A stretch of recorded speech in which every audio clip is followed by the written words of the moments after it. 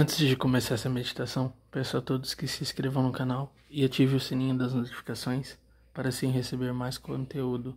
Curta, compartilha, Deus abençoe, boa meditação.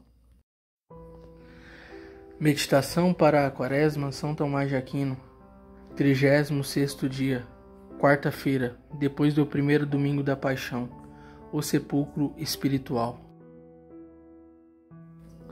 A contemplação das coisas celestes é representada pelo sepulcro. Por isso, sobre a passagem das Escrituras em Jó 3:22, e ficam transportados de alegria quando encontram o sepulcro. Comenta São Gregório: na contemplação das coisas divinas, a alma morta para o mundo esconde-se como um corpo na sepultura. Ele, longe de toda a inquietação do século, repousa por três dias, como que por uma tripla imersão. Os atribulados e vexados pelos insultos dos homens, ao entrar em espírito na presença de Deus, não mais se sente atribulados, conforme aquilo do salmista, em Salmos 30, 21. Sob a proteção do teu rosto, os defendes das conjuras dos homens. Três coisas são necessárias para esse sepulcro espiritual em Deus: que a alma pratique as virtudes, torne-se toda pura e branca e morra radicalmente para o mundo. Todas essas condições se encontram misticamente presentes na sepultura de Cristo. A primeira encontramos em São Marcos 14:8, no lugar em que se diz que Maria Madalena embalsamou com antecipação à sepultura de Jesus. O bálsamo precioso de nardo significa as virtudes que possuem grande preço. Nada nesta vida é mais precioso que as virtudes. Por isso, a alma santa que quer ser embalsamada na divina contemplação deve, antes de mais nada, receber o bálsamo pelo exercício das virtudes. Assim dizia Jó 5:26 Entrarás na maturidade no sepulcro. Aqui acrescenta a glossa da divina contemplação, como um feixe de trigo colhido a seu tempo. Novamente, a glossa, porque o tempo de ação tem por recompensa a eterna contemplação. E é preciso que o perfeito exercite antes sua alma nas virtudes, para guardá-la em seguida no celeiro do repouso. A segunda encontramos também em São Marcos 15:40, no lugar em que se diz que José comprou um sudário, pois o sudário é uma peça de linho, e o linho só se embranquece com muito trabalho.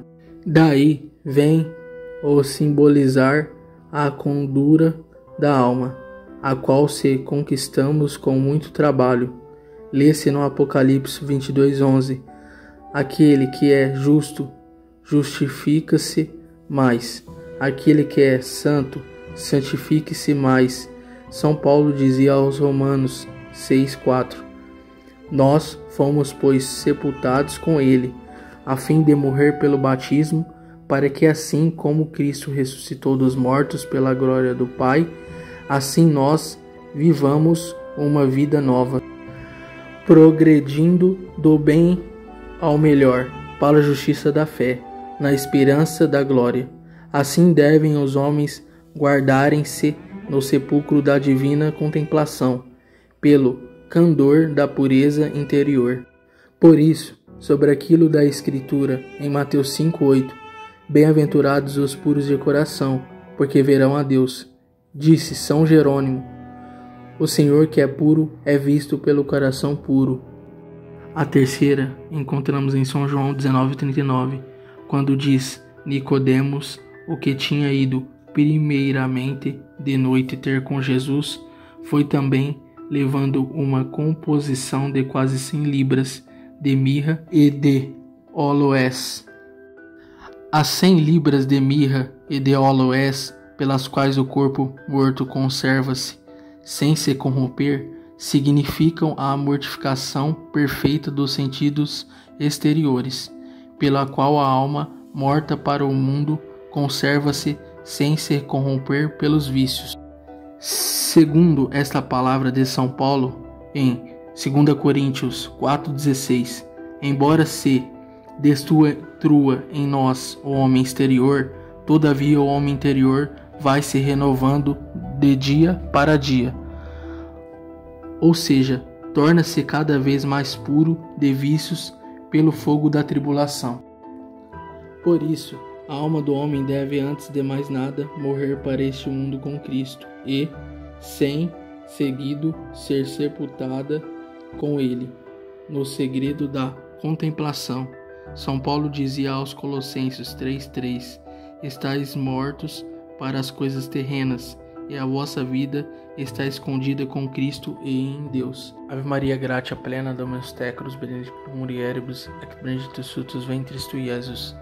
Sancta Maria, Magna Dei, ora pro nobis peccatoribus, nunc in te hora mortis nostra. Amém. Deus abençoe a todos, salve Maria e viva Cristo Rei.